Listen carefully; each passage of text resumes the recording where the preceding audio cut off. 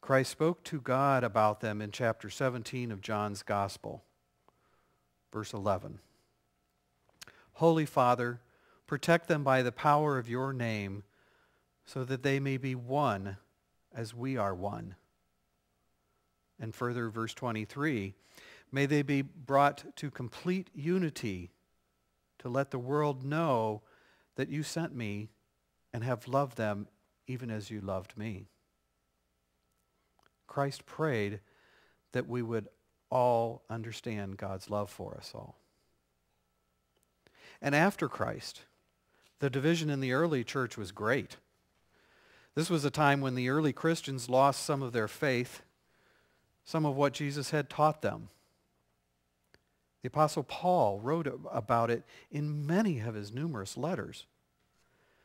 The early division, to me, is why Paul had to write those letters.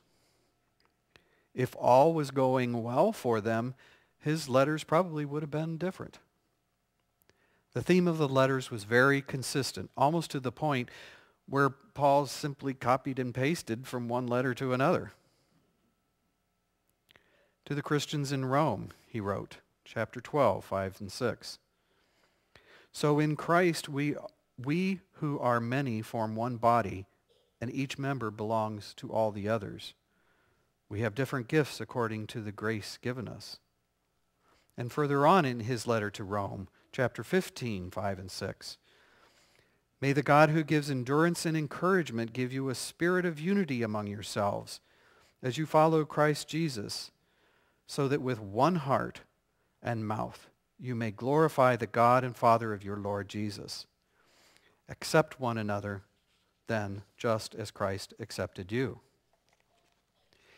In Paul's first letter to Corinth, chapter 10, 16, 17, is not the cup of thanksgiving for which we give thanks a participation in the blood of Christ? And is not the bread that we break a participation in the body of Christ? Because there is one loaf, we who are many are one body. And further in 1 Corinthians chapter 12, what Pam read for us this morning. The body is a unit, though it is made up of many parts, and though all its parts are many, they form one body.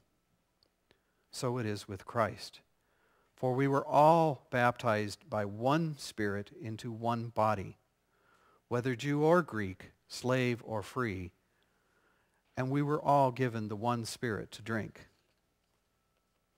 Now today, if Paul were writing this, would he even perhaps add whether Methodist or Lutheran, Baptist or Presbyterian, dunker or sprinkler? In Paul's letter to the Galatians, chapter 3, 28, he writes again, even the same exact words he, he must have had copy and paste real early on. There is neither Jew nor Greek, slave nor free, male nor female, for we are all one in Christ Jesus. And in his letter to the Ephesians, chapter 4, make every effort to keep the unity of the Spirit through the bond of peace. There is one body and one Spirit, one Lord, one faith, one baptism, one God, one Father of all. And further in that chapter, so that the body of Christ may be built up until we all reach unity in the faith and in the knowledge of the Son of God and become mature. Paul saw that the divisions in the church were starting to show. He knew that he needed to instruct them in the healing process that continues yet today. But all was not lost, my friends. It was not inevitable that the early church would remain divided.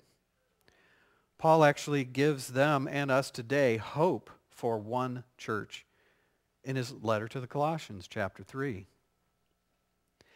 Therefore, as God's chosen people, holy and dearly loved, Clothe yourselves with compassion, kindness, humility, gentleness, and patience. Bear with each other and forgive whatever grievances you may have against one another. Forgive as the Lord forgave you. And over all these virtues put on love, which binds them all together in perfect unity. And all is not lost for our modern times either. The ecumenical movement is alive and well, but there is still much work to be done to achieve one church in God through Christ. In the late 19th century, well after Christ and the apostles told us to be united, many organizations sprung up to make that unity come true, such as the YM and YWCAs, the Federal Council of Churches of Christ, the Church Reunion in Great Britain, and Christian Unity in the U.S. And in the early 20th century, groups like World Missionary Conference, the International Missionary Council, and the Universal Christian Conference on Life and Work were started. And in the late 20th century, as we, we see the forming of the World Council of Churches that to this day does a lot to bring unity among the still many denominations. And progress has been made to the one church in some mergers in the late 20th century, including our own denomination when the, United Meth- when the Methodist Church and the Evangelical United Brethrens joined hands. And we here in Lakeside have many opportunities to show our desire for one church when we host so many people of the Chautauqua season who come so, from so many different Christian denominations and traditions but much work is still to be done.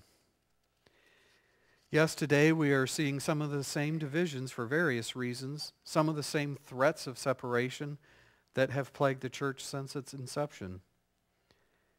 As the recent United Methodist promotional campaign indicates, perhaps it's time we rethink church. It's an initiative to start a conversation at all levels designed to open a global dialogue about reaching spiritual seekers with the good news of Jesus Christ. It stems from the one question, what if we rethink church? It's not rethinking our theology or rethinking the scriptures, but rethinking the way the church makes contact with the world beyond buildings and Sunday worship and into an active presence in the world to bring the good news of Christ to all. What if we rethink church? Not in terms of what it is, but what it could be. And what if we convince the world to do the same?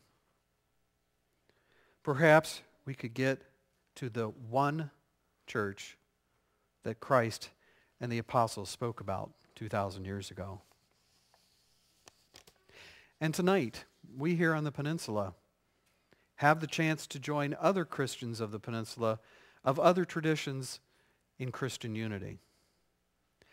The event at St. Paul's Lutheran Church tonight is the annual Christian Unity event, including a potluck dinner and informal discussions of each church's history, current ministry, and future hopes.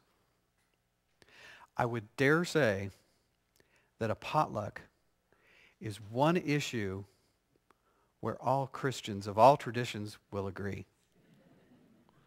We may disagree on how we express our love for God and Christ during our worship services, but who is going to disagree with green bean casserole and jello salad? Although I'm taking uh, baked beans and pasta salad, so. So please join me and your brothers and sisters in Christ tonight at 6 o'clock at St. Paul's Lutheran Church on Church Road. It is a potluck, so please bring a dish to share. And every day, when you come across someone of a different tradition, remember the love of Christ and the grace of God are there for them as well as you. Amen.